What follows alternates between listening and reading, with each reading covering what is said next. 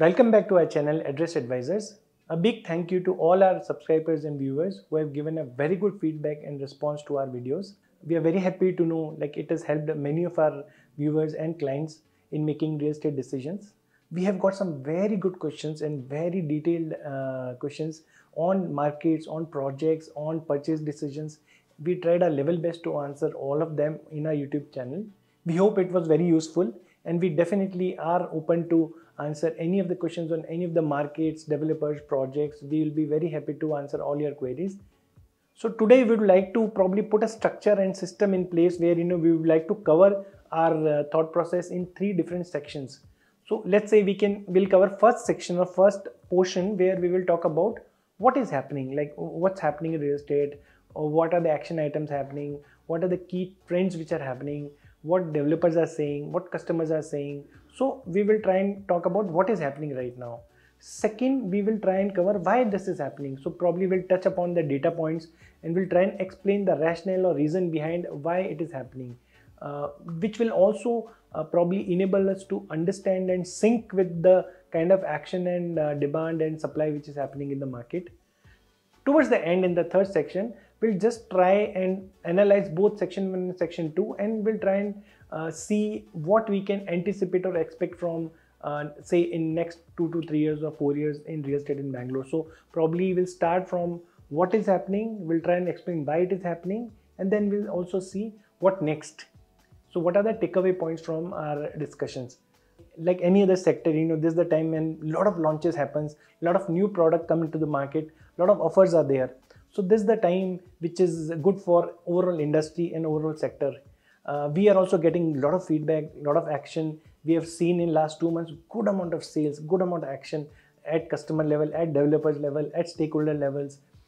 So one interesting thing which we saw was, you know, uh, first time probably uh, in in Indian real estate market or probably in Bangalore specifically, uh, good developers, good developers who have built their brand, they have established themselves as the top-notch developers with the quality and product and deliverables.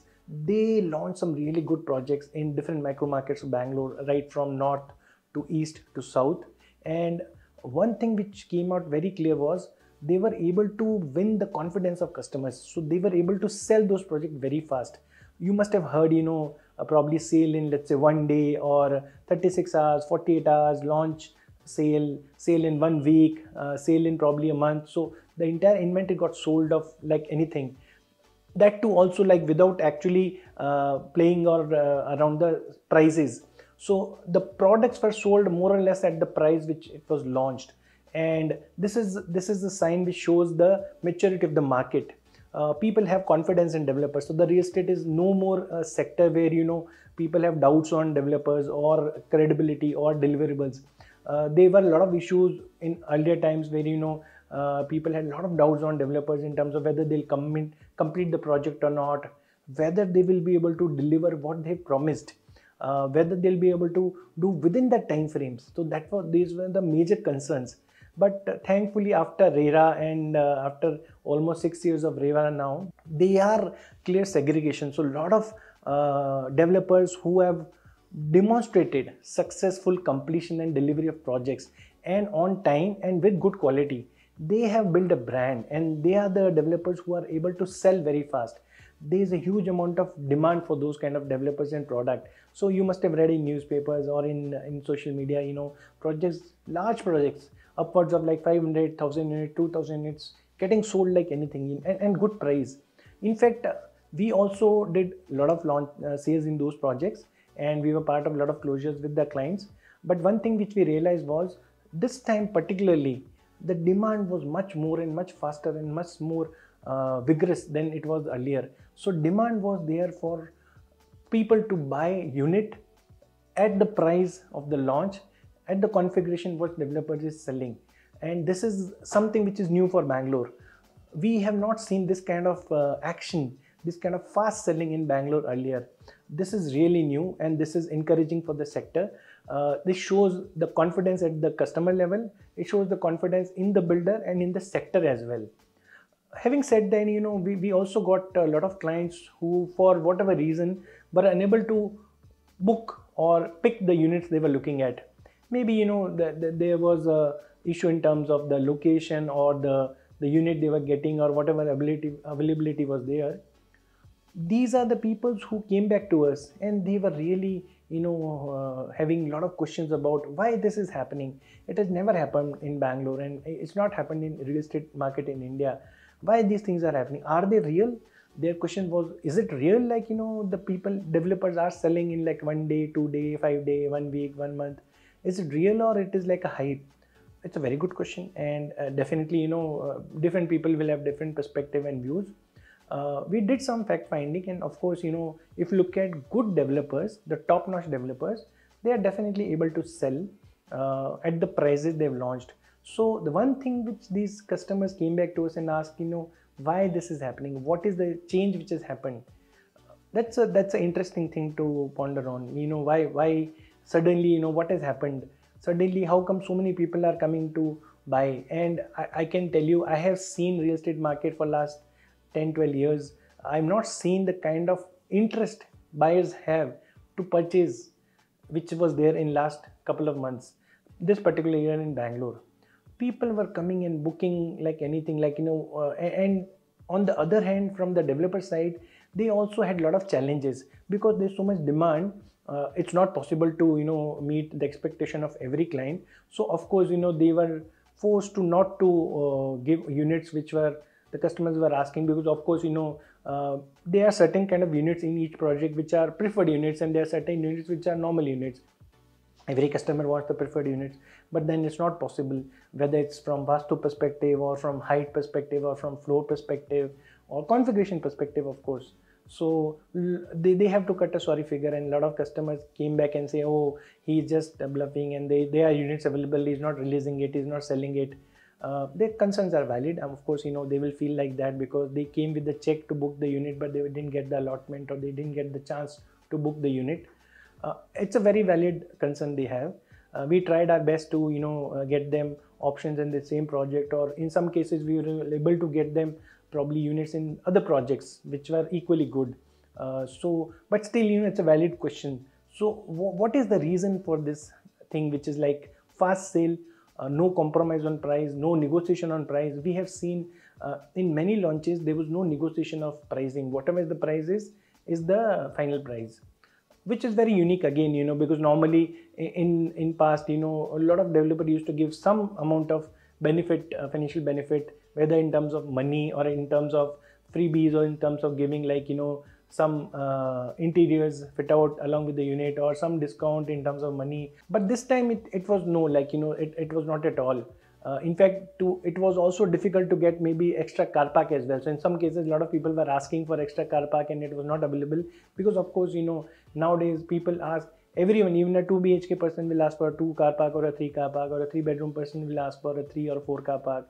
So uh, the things have changed a lot. We met all these customers, a lot of customers uh, in fact approached us directly and said you know what is the reason? Is there anything which we foresee it will happen in future which will change it? So when we we look back you know th- there were some data points which were very relevant. So the thing which came in front was why it is happening in bangalore now. So the timing and the city and the place is critical. So i would like to cover and explain you know and, and try and put some data points in terms of what we feel you know why this thing is happening in bangalore why suddenly there's so much demand and so much uh, sales are happening. So now coming to the next section of why. So if you look at bangalore almost 15 lakh uh, people are working in technical field or engineering field or software field uh, which is a large number. It is almost one third of the total uh, people working in technology field in india. So one third of technology man force is in bangalore. That's a big number you know uh, one city catering to one third of the uh, manpower in tech field they are they are numbers available in public domain which we can say with with the confidence 80% of the top IT companies have some presence in Bangalore. It's all there, you know, you name it, all the companies will have some good presence in Bangalore. They, they are investments which are coming to Bangalore. Bangalore is getting the highest number of investments in startups. Bangalore is also becoming a startup capital. If you look at the kind of companies which are getting registered, as per a lot of expert data from 2016 onwards 40% of the companies which were registered were registered in Bangalore. It is much more than Delhi and Mumbai put together. So th- that shows the kind of confidence across sectors have shown in Bangalore as a city, as a brand. So Bangalore has attracted a large amount of talent pool from all over India. If you look at the, the talent availability, I know almost more than 90 to 95,000 engineering graduates graduates from various colleges in Bangalore alone. This is a big number, you know, it, it supports the, the infrastructure in terms of availability of manpower for IT companies. It's a big number to support the industry. And you have good quality colleges, like really good quality colleges, and people who are coming from those colleges getting really good uh, placements and they're getting really good jobs and they're doing extremely good in the sector. So that that boosts the, the that pushes the Bangalore to the next level it has established itself as not only a Silicon Valley but also startup capital. Most of the companies who are actually uh, going to unicorn status, the largest number is from Bangalore. It has also enabled the, the amount of money or funds available with the people working in tech field or in uh, technology sector in Bangalore so that they can invest, they can fulfill their aspirations. Uh, if you notice, you know, there's a large amount of people who are not from Karnataka have moved to or shifted to Karnataka from various part of India to work in this field. And of course, they, they don't have any homes here, so they will be the prospective buyers. And with the kind of money which they are getting, of course, you know they are capable and they are the ones who are buying homes. So if you look at the kind of sales which are happening in real estate in Bangalore, these are the people who are ready to put that money to buy real estate in these uh, locations which are closer to IT parks. So the reason, one of the reason was the large amount of uh, influx which is happening. So from let's say 35 to 36 lakh to 1.35 crores, you can see around 20 to 23 years, almost more than 1 crore people have migrated to Bangalore. So on an average, if you look at the data, population data, every year around 3, 3.5 lakh people come to Bangalore, which is a good number. It is also actually, uh, you know, if you look at the kind of correlation between the population influx and the office absorption every year Bangalore is witnessing around uh, 10 to 12 or 13 million square feet of new office space absorption, which of course is mostly into IT. So IT, if you look at every 100 square feet is one person. So you can safely say every year almost 100,000 or 110,000 people are actually joining IT workforce, which is directly.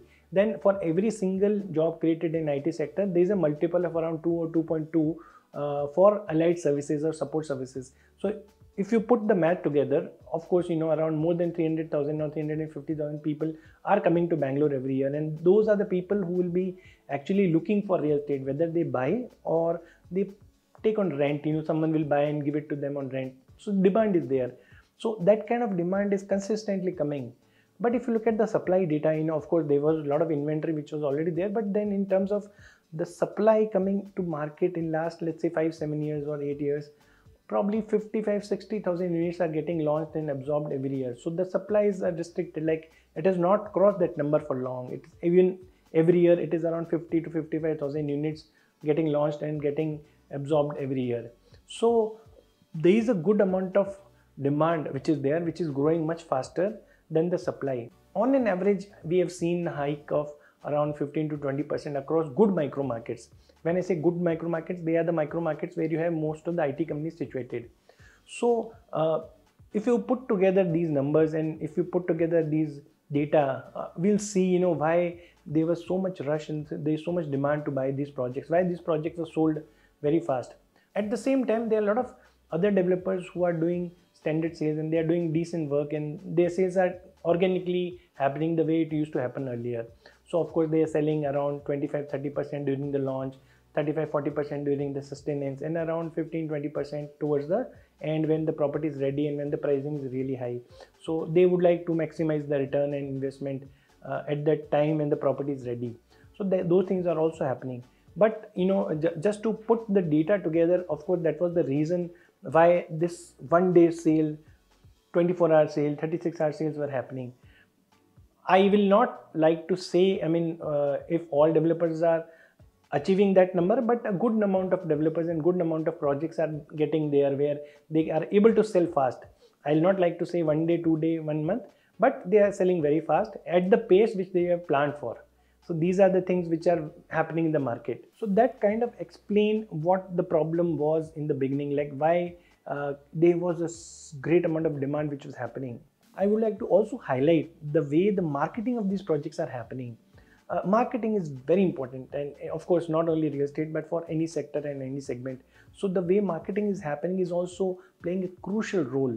Uh, you know uh, it is true like you know if you demonstrate delivery if you demonstrate quality if you demonstrate price and then if you get the confidence of customers then of course you know getting the sales or getting the business is not a difficult task it's not very easy but it's it makes the things very simple. The process is very simple. So the marketing also talks about what to agree what not to agree what to do what not to do. So the way probably i would like to see these projects which were successful were successful because they were marketed as if this is the pricing this is the unit and it's a standard unit and standard pricing no compromise. So it is also you can say some level where you know the developers or development companies have put the foot down and say this is the pricing. Uh, not in a negative way but of course you know uh, this is what to say you know this is the product and this is our premium and this is what we command and uh, we'll be happy to sell you but at this price and this configuration. So that also reinforces it works like a lot of customers came back to us and say oh that project and that developer he's not giving me inventory he's not giving me that. He's he told me to wait he's taken my check but he's saying i'll let you know in some time if any cancellation happens or not. People are giving checks. They are giving that confidence but they are also concerned about whether it is true or not. So in many cases of course they, they got allotment uh, but in many cases they got the money back. So it is like the way developers are marketing also plays a crucial role. In today's time with social media and with word of mouth things spread like fire. They, they spread very fast so it's not very difficult for people to get information on how a project is performing how developers is responding how flexible or fixed his pricing is so if you put the marketing on pricing and marketing on the products correct then these kind of demand will be generated or you, I can say it can be created and this kind of traction will be there. So we have seen a huge amount of change in the kind of marketing strategies which is happening in real estate in Bangalore. So now moving to the next and last section, what's there in the future? You know, what's the future outlook? It's a tough question. Um, of course, no one can predict future and no one can say anything about future in terms of what will happen. But with the kind of growth which we are seeing, the kind of traction we have seen, uh, if you look at again, I mean, go back to data. I mean, uh, like I mentioned, Bangalore is today at around 1.36 crore population. As per various estimates and data, I mean, it will be somewhere close to 1.8 crores by 2033-34. So you can say in next 10 to 12 years, Bangalore will see an additional influx of population of around 50 lakhs. So when I say influx of 50 lakh, which can be, if you take average family size of four, uh, or maybe and uh, you know nowadays people are actually having one kid so it depends you know i'm just taking assumption if you take an average family size of 4 it will be a demand for around another 10 to uh, 12 lakhs of homes. Because assuming one family will take one home uh, i'm not counting people where people invest in multiple homes and all that. So there will be a demand for around 10 to 12 lakh homes in next 10 years. Average you can say we will need at least 1 lakh homes every year for next 10 years just to cater the demand which is projected and again you know the demand can go up also because always we have seen uh, most of the cases if the cities created that kind of buzz and it created a brand we have seen the population grows much more than the forecast or the projections. So just at the base level if we need to cater to the demand which will be organically coming in bangalore for next 10 years we have to build 1 lakh homes in bangalore. Now a lot of developers who are sitting on the data they know they know the pulse of the market. They have already uh, started acquiring land banks in different part of city and they will plan these projects down the line in three five six years. So the demand will be there. So going forward i don't see uh, any uh, trouble in terms of demand from residential sector unless you know the supply uh, is created to the level where it pushes some demand. But uh, i mean for that to happen there is a huge amount of uh, development which has to be done. Going by the record for last 5 7 years i don't think it will be easy but of course that's the way a lot of developers are planning. So the supply has to catch up because demand will come. So I can safely say I, I don't want to go long term, but I can safely say for next at least three to five years, going by the trend and going by the business plans of a lot of software companies and companies who are planning for next three to five years, the growth which they have envisioned in for their own businesses, I can safely say there will be good amount of demand and this kind of traction will continue unless you know something happens which is beyond anyone's uh, imagination or anyone's calculations. Uh, we can say based on the data again there will be demand going forward. So i expect the real estate sector to go in a more more organized and structured way where there will be definitely more transparency and much more uh, price realization but at the same time the demand will go on increasing. So it will strengthen the city. It will get bangalore to a, level where it will be competing with all the top global cities. And of course you know there is a good amount of learning happening from top cities.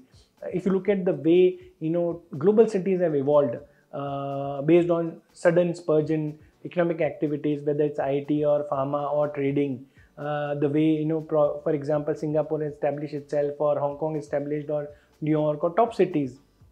They, there is a good amount of learning happening from those cities.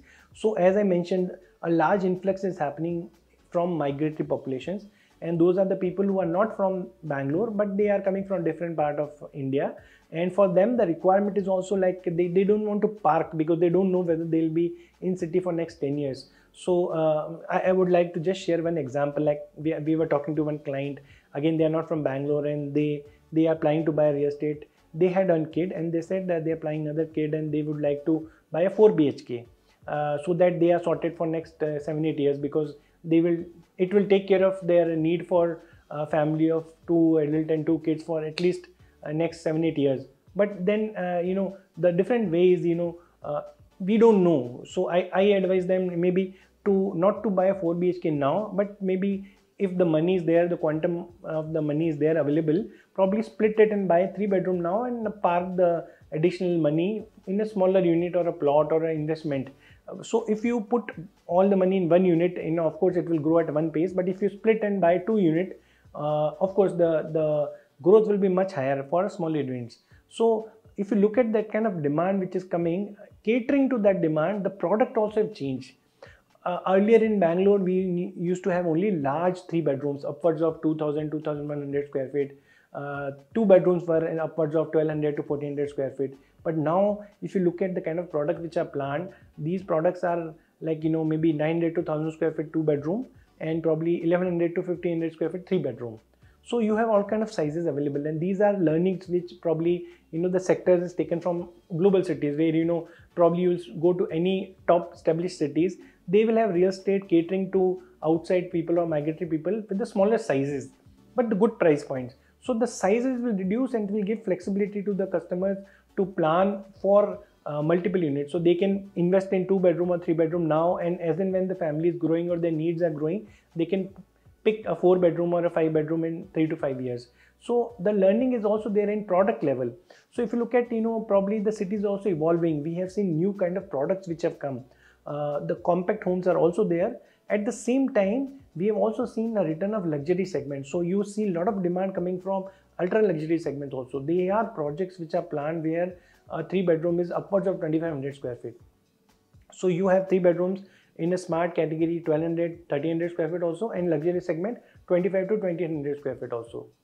So there, there is a demand which is happening across categories. So you know there is a clear cut smart home category where you know a three bedroom will be around 1100 to 1300 or 1400 square feet and a luxury segment where the three bedroom will be around 2500 to 2000 square feet so the product uh, is coming and it's evolving in Bangalore based on the customer demand. Of course, the sector is learning uh, the best things from across the cities. So, uh, looking at the scenario and the, looking at all the possible data points what we had, uh, I think I can safely say, you know, there is a good amount of prospect and potential in all category of real estate. Uh, but specifically uh, smart housing upwards of let's say up to one one and a half crores and on the other hand luxury segment which is upwards of 5 crores so there is a good amount of demand which is happening. Um, of course, it's a festive season. And, you know, everyone will be happy and in a joy mode. I wish you and your family a very happy and prosperous festive season. Uh, thank you and all the best.